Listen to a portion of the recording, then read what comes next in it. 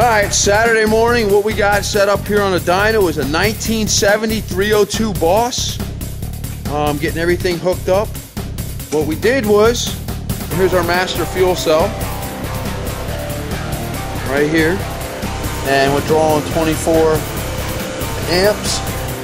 And what we did was real simple. We got it set up so we got it injected down into the carburetor. We're making hydrogen now.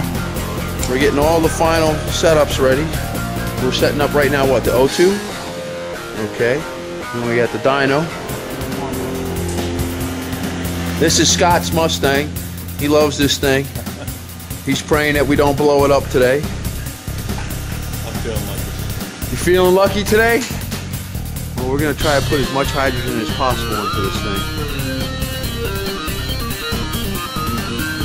And we got four settings to play with. And then after that, we'll go to the pulse width modulator and we'll tweak it in and see what we're getting. See, here we go, the amps are going up. Now I'm gonna get this thing up to probably about 40, 50 amps. And we're gonna go that way. I'll show you around the car. Look at that.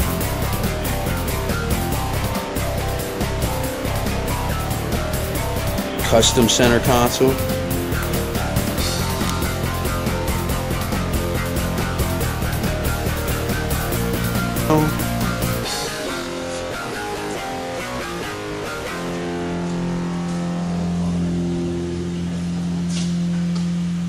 had, an, I had an engine die and I wanted to it and rebuilt who oh, did the motor on it? Um, John Douglas and Amos.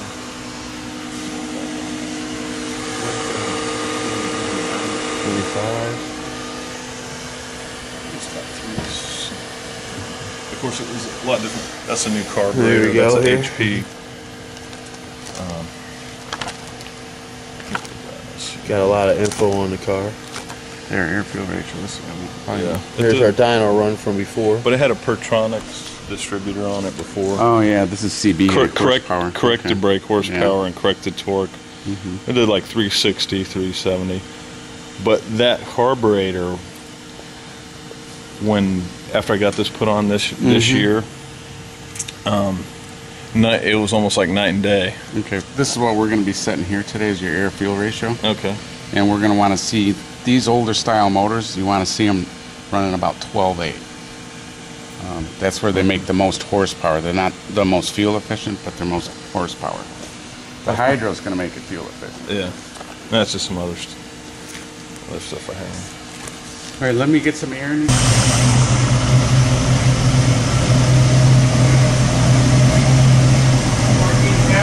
Fourteen seven. got too much jet in it. They were only open a full turn. It should be a turn and a half at 12 8. Front jet can go down.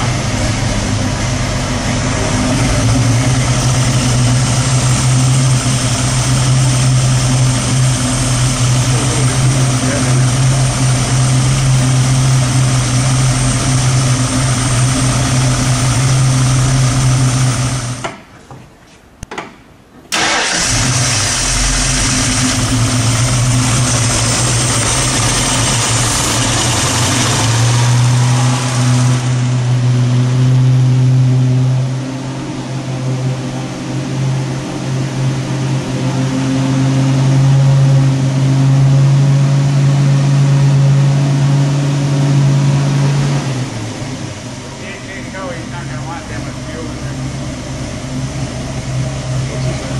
I don't want that much fuel. It's got a lot of It was, it was okay when we were seeing 12 8. The engine temp wasn't up yet. Now that the engine temp is up, she's running fast. We're adding more hydrogen. We're giving it 16 amps of hydrogen.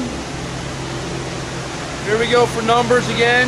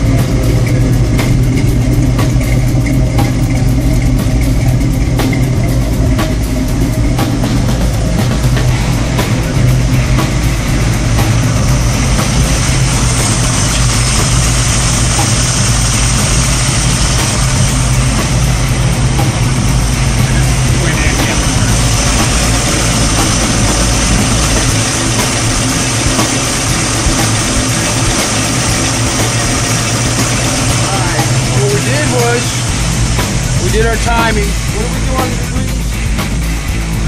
We've got uh, base timing at 12 degrees. Base timing at 12 degrees. We adjusted the carburetor. We went a turn and a half out um, on our idle circuit. And here's our numbers now.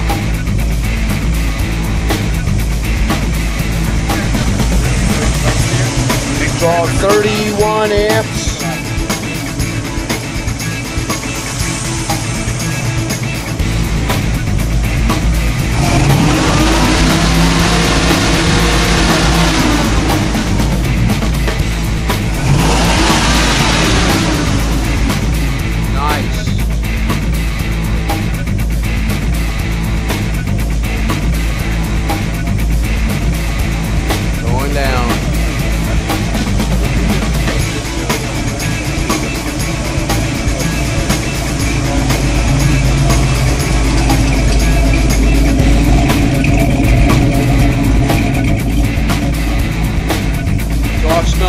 Cleaner.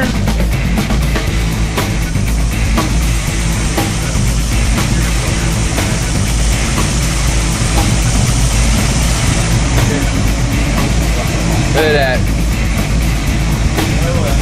Now the number we wanted to see was 12.5.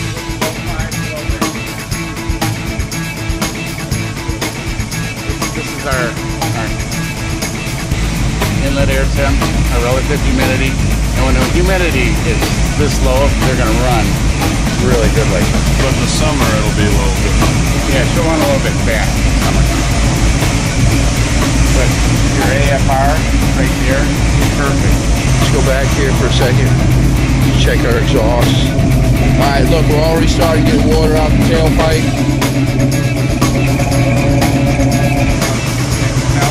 See our flow.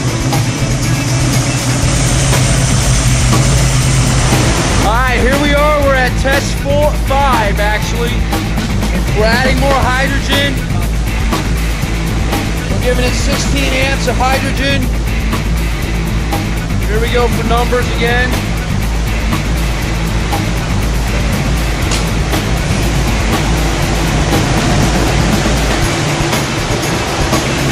We need to get a belt hook.